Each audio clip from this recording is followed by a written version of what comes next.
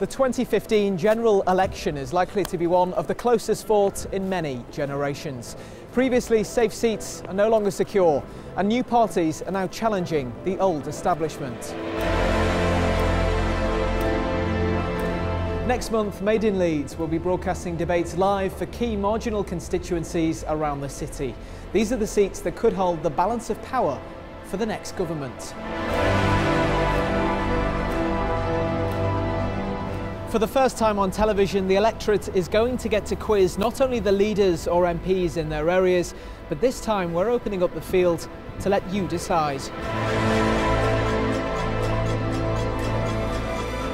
If you want to be part of the audience at these debates, go to madeinleeds.tv slash elections to contact us. The live election debates, only on Made in Leeds.